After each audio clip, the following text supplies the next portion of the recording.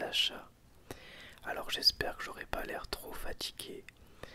Euh, je profite du calme à la maison pour euh, vous tourner cette petite vidéo avec des objets culturels euh, que je n'ai pas achetés depuis la dernière vidéo derniers achats mais que j'avais oublié de vous présenter et que j'ai acheté il y a à peu près un mois. Donc du coup bah, j'en profite pour vous les montrer, vous en parler. Et ça fait une suite, on va dire, une nouvelle vidéo derniers achats. Et on commence avec une Funko Pop Captain Marvel que je trouve vraiment très jolie, que j'ai eu à 5 euros. 5 euros à Carrefour avec une offre euh, avec des chocolats de Pâques. Elle est vraiment très belle. Donc elle est issue de la série Avengers Endgame, la série de Funko Pop. Et euh, donc euh, je suis obligé de faire comme ça par rapport à la lumière. Mais on voit qu'elle a sa tenue classique avec l'étoile et elle a les deux points comme ça, genre air de défi. Elle est hyper classe, vraiment très jolie. Et à 5 euros, c'est vraiment une très très bonne affaire. Alors en sachant que il y en avait d'autres, mais euh, j'en avais déjà. Il y avait Hulk que j'avais, euh, Thor que j'avais, une Captain America, mais moi je cherche une Captain America avec le costume complet. Là c'était le, costume de voyage temporel. Il y avait des rois lions, mais ça m'intéressait pas. Du Toy Story. Euh, bref, il y avait d'autres Funko, mais c'était vraiment celle qui m'intéressait le plus et que je trouvais la plus classe. Alors j'adore son air un peu euh, de défi, son air badass, son air en colère. Je la trouve vraiment, vraiment très, très, très sympa. Et donc ça s'ajoute à ma collection de Funko Pop. Surtout que 5 euros, c'est vraiment un prix euh, donné. Donc voilà, acheter des, des chocolats de Pâques, j'en ai acheté pour euh, mon fils. Et du coup, euh, ça m'a fait la Funko à 5 euros au lieu de 15. Voilà, c'était une offre Carrefour d'il y a quelques semaines pour Pâques. Vraiment très joli. Ensuite, on a un manga. Il s'agit de Chainsaw Man. Voilà. Que j'aime beaucoup, beaucoup. Alors, euh, avant de lire ce tome, j'ai relu les six précédents. Et franchement, Chainsaw Man, c'est vraiment un manga génial. Ça m'a donné aussi envie de relire Fire Punch, qui est l'autre manga de l'auteur. Franchement, je ne peux que vous recommander Chainsaw Man.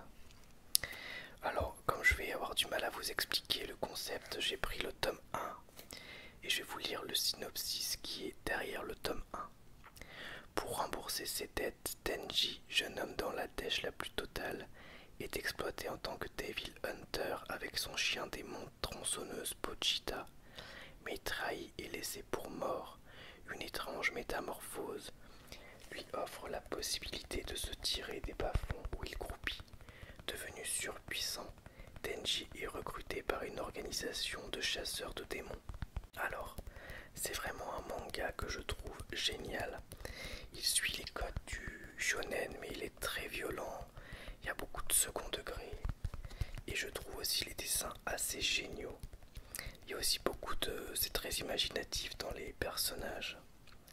Et donc dans ce tome-là, sans vous spoiler l'histoire euh, bien évidemment, mais il y a des, passages de, de baston avec des, des démons assez dingues. Alors je vais essayer de vous montrer euh, une scène ou deux pour vous montrer un peu les dessins par exemple, sans vous spoiler, sans que ce soit trop violent. Euh, ouais, c'est pas évident. Ouais, c'est pas évident du tout. Bon, je vais vous montrer les dessins, euh, dessins voilà, qui, qui ne spoilent pas. C'est vraiment très sympa. J'aime beaucoup. Et attendez. Voilà par exemple d'autres dessins. Donc c'est de Tatsuki Fujimoto et c'est vraiment un manga incroyable. Je vous recommande bah, de lire euh, le tome 1 de, de Chainsaw Man vous verrez tout de suite si c'est un univers qui peut vous plaire ou non. Et euh, j'adore. Je crois que le manga est bientôt fini au Japon, enfin qui s'est terminé, mais qu'il va y avoir une suite. Donc j'ai hâte de voir ce que ça va donner.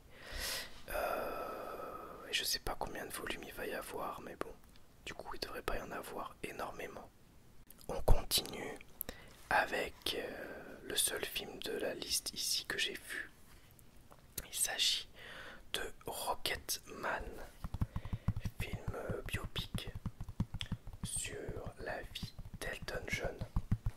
Enfin, une partie de la vie d'Elton John que j'ai beaucoup aimé, que j'ai regardé hier et c'était vraiment très bien. Rocketman nous raconte la vie hors du commun d'Elton John, joué par Taron Egerton, depuis ses premiers succès jusqu'à sa consécration internationale.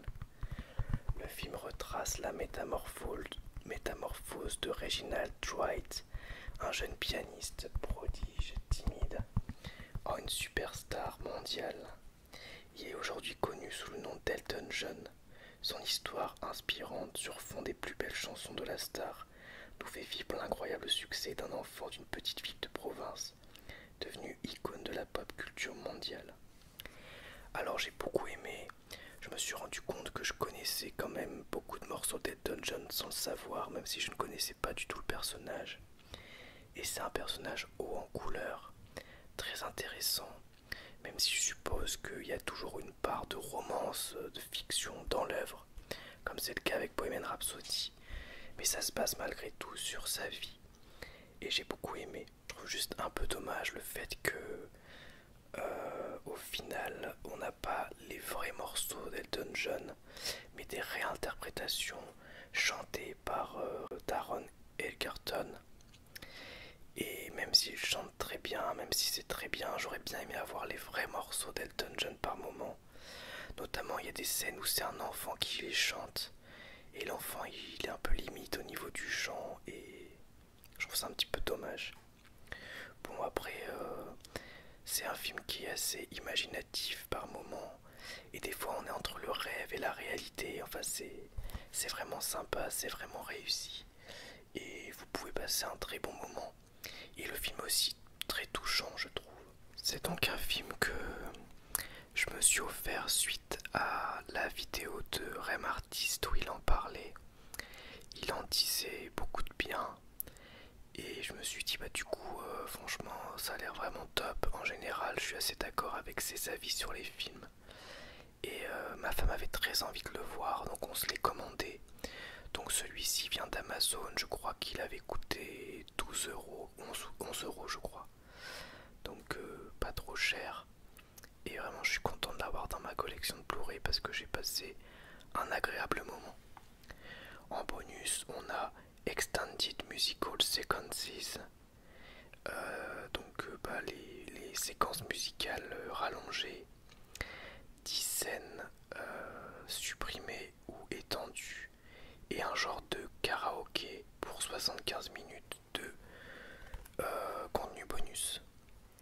Ensuite, on a trois films que je n'ai pas vus, donc je vais juste vous dire les titres et vous dire les synopsis. On a Red Sparrow avec Jennifer Lawrence. Red Sparrow, donc que je n'ai pas vu, mais euh, le synopsis me faisait très envie. Euh, et surtout, j'avais vu la bande-annonce à l'époque au cinéma j'avais pas vu le film au ciné, mais la bande-annonce m'avait fait envie. Donc je l'ai acheté 7 euros celui-là euh, en faisant mes courses, mes courses de, la vie quotidienne quoi. Ah oui, j'ai oublié de préciser que Rocketman, il est réalisé par euh, Dexter Fletcher, qui a réalisé aussi Bohemian Rhapsody et aussi Eddie the que je vous ai présenté tous les deux auparavant sur la chaîne donc euh, un réalisateur déjà assez connu pour ses biopics. Donc Red Sparrow, réalisé par Francis Lawrence. Une ancienne ballerine russe est recrutée contre sa volonté par les, services secrets de son pays. Excusez-moi les fautes, je suis un petit peu fatigué. Entraînée à utiliser ses charmes et son corps comme des armes, elle découvre rapidement l'ampleur de son nouveau pouvoir, jusqu'à devenir l'un des meilleurs agents. Sa première cible est un agent de la CIA infiltré en Russie. Entre manipulation et séduction, un jeu dangereux s'installe entre eux. Ne moquez pas ce thriller habile de Francis Lawrence. Je suis une légende, Urgen Games 2, 3 et 4, porté par Samur Jennifer Lawrence, récompensé aux Oscars et aux Golden Globes, et dont le scénario laisse le spectateur dans l'ignorance jusqu'à la fin. Et en bonus, on a une nouvelle guerre froide, genèse et adaptation, agent provocateur, le casting, technique d'espionnage, une approche authentique, au cœur de la template sur le tournage, etc. Scène inédite, etc. etc. Donc je ne l'ai pas encore vu. Tout comme les deux autres films que je vais vous présenter maintenant. Celui-ci, je l'ai eu à 1€ à Nose. Il s'agit de Leave No Trace avec Ben Foster qui est là. Je sais plus dans quoi je l'ai vu Ben Foster, si ce n'est dans Six Feet Under qui est le premier rôle où je l'ai connu, il était très jeune. Et Thomasine Mackenzie qui est là. Tom a 15 ans. Elle habite clandestinement avec son père dans la forêt qui porte Portland, Oregon, limitant au maximum leur contact avec le monde moderne. Ils forment une famille atypique et fusionnelle. Expulsés soudainement de leur refuge, les deux solitaires se voient offrir un toit, une scolarité et un travail. Alors que son père éprouve des difficultés à s'adapter, Tom découvre avec curiosité cette nouvelle vie. Le temps est-il venu pour elle de choisir entre l'amour filial et le monde qui l'appelle Et ce monde qui l'appelle En bonus, bonus, interview de l'équipe du film, les coulisses du film et les scènes coupées. Alors j'aime bien le, packaging que je trouve assez joli, qui est tout simple, mais euh, c'est une boîte cartonnée avec de la nature et les deux acteurs principaux. Et apparemment c'est un très beau film, donc moi je l'ai pas vu, mais j'en ai entendu du bien. Et on termine avec un film de J.C. Chandor, qui est un réalisateur que dont j'ai un autre film, je crois, dans ma Blu-ray mais que j'ai pas encore regardé. Donc celui-ci, c'est Margin Call, avec un casting de folie. Kevin Spacey, Paul Bettany, Jeremy Irons, Zachary Quinto, Ben Batley, Simon Baker, Marie McDonnell, Demi Moore et Stanley Tucci. Pour survivre à Wall Street, soit le premier, le meilleur, Autriche. Donc c'est un film euh, sur la bourse et le crash boursier, il me semble.